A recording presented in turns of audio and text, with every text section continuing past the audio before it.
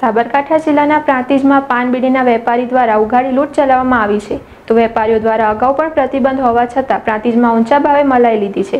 તો ગુટકા ઉપર પ્રતિબંધ ઉઠ્યો અને માલ આવ્યો છતાં વેપારી દ્વારા સરેઆમ ઉઘાડી લૂંટ થવા છતાં જવાબદાર તંત્ર ઘોર નિંદ્રામાં.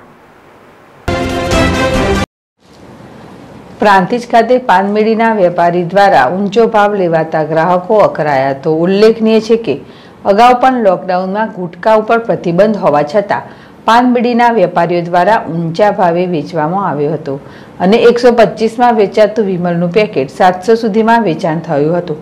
તો હાલ લોકડાઉન ચારમાં ગુટકા ઉપર પ્રતિબંધ ઉઠાવ્યો છે અને રાબેતા મુજબ વિમલ સહિતનો ગુટકાનો માલ બજારમાં આવ્યા છતાં હાલ લોકડાઉનમાં મલાઈ ખાધેલા વેપારીઓ હજુ પ્રતિબંધ ઉઠી ગયો અને નિયમિત રીતે માલ આવ્યો છતાં પણ બજારમાં એકસો પચીસના પેકેટના બસોમાં વેચાણ થાય છે. ત્યારે હાલ તો બજારમાં માલ આવ્યા પછી પણ પાનબીડીના હોલસેલ વેપારીઓ દ્વારા ખાલી ચિઠ્ઠી ઉપર જ ધંધો કરે છે અને તેઓને કોઈપણ બિલ પણ આપતા નથી. ત્યારે જવાબદાર તંત્ર જાહેરમાં ભાવ વધારો લેવાતો હોવા છતાં અને ચિઠ્ઠી ઉપર ધંધો થતો હોવા છતાં ઇન્કમટેક્સ વિભાગ તથા જવાબદાર તંત્ર તથા સ્થાનિક તંત્ર હાલ તો ગોળ નિંદ્રામાં હોય તેવું સ્પષ્ટપણે જણાઈ આવે છે.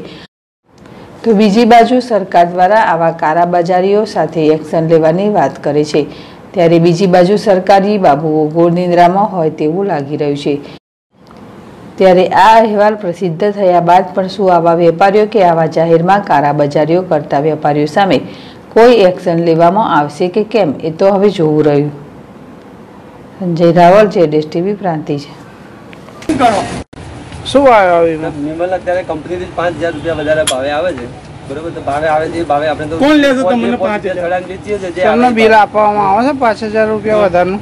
એ તો કંપનીમાં તમે પૂછો સાહેબ. મારા કંપની પૂછવાની જરૂર પ્રાંતિજની માર્કેટમાં તમે ફરો જે ભાવે આવે ભાવે વેચીએ છીએ બરોબર? તમે બિલ આપશો એ ભાવનું? બસો રૂપિયાના? કંપનીમાંથી મંગાવી આલી બિલ ચાર્જ રૂપિયા એક ભાવે એક મિનિટ ભાવે ખબર છે નિયમ ઇન્કમ ટેક્સ નો?